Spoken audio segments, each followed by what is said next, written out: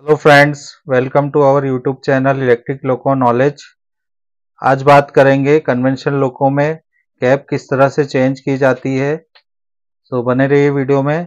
आगे हम आपको बताएँगे कन्वेंशन लोको में कैप किस तरह से चेंज करना है आपको। और जो भी हमारे चैनल पर नए हैं, वो हमारे चैनल को सब्सक्राइब कीजिए। सबसे पहले आपको एस लगाकर लोको को खड़ा करना है। एस को अप्लाई पोजिशन में रखकर लोको को खड़ा करना है।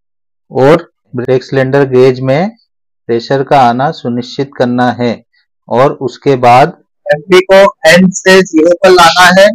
एवं एमपीजे की को फॉरवर्ड से ज़ीरो पोजीशन पर लाना है। एमपीजे को ज़ीरो पर लाने के बाद बीएलबी एमटी को ऑफ़ करना है।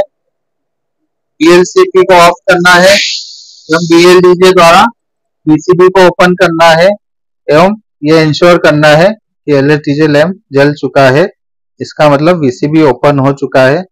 उसके बाद आपको जेड द्वारा पेंटो को लोअर करना है मतलब ज़ीरो पर लाना है। उसके बाद बीएल की को ऑफ़ पोजीशन में कर कर बाहर निकाल लेना है, एवं जेड को भी बाहर निकाल लेना है, और एमपीजे की को भी बाहर निकाल लेना है।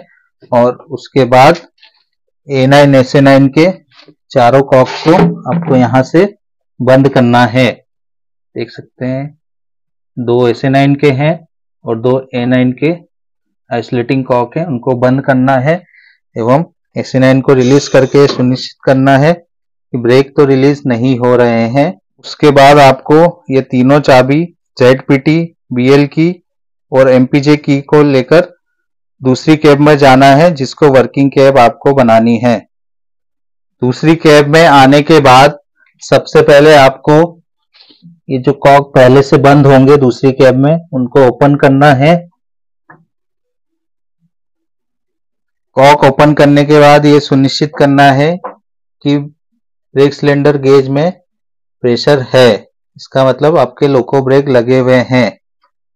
उसके बाद आपको बीएल की को ऑफ़ से ऑन पोजीशन में लाना है एवं एलएसडीजे लैम्प का जलना सुनिश्चित करना है। उसके बाद आपको ZPT की द्वारा पेंटो को रेस करना है। जेडपीटी की को एक पर रखना है, इसका मतलब ये पीछे वाला पेंटो ही आपका रेस होगा। पेंटो रेज हो चुका है।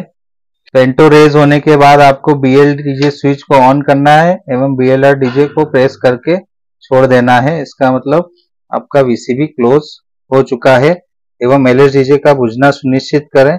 इससे ये आपको कंफर्म होगा कि आपका वीसीबी क्लोज हो चुका है।